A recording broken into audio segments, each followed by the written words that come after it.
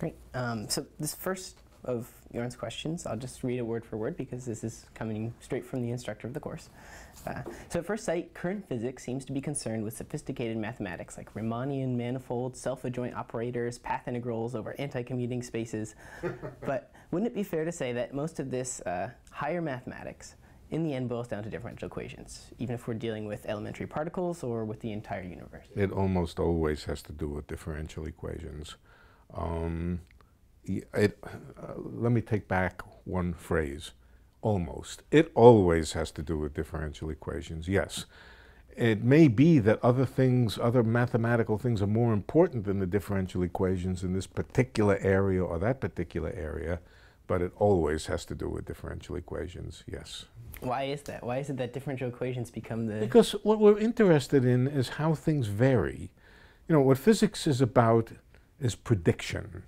To, basically to predict the future from the present or the future from the past.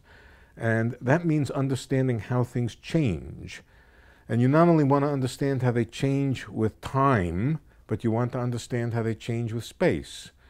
You would like, for example, you want to predict the weather.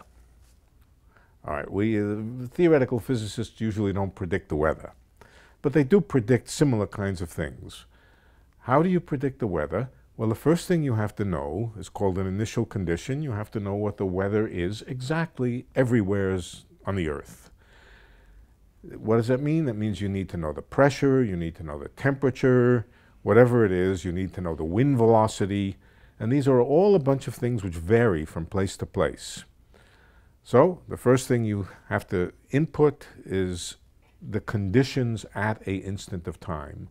Now you want to know how they change. How do they change? They change little by little incremental changes from instant to instant. And the incremental changes at one position depend on what's going on in the region nearby that one position.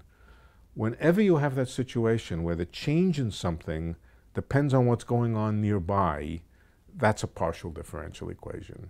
That's a partial. So whenever you're in the business of predicting how the world changes or how some part of the world changes, both with respect to position and with respect to time, you're in the business of partial differential equations.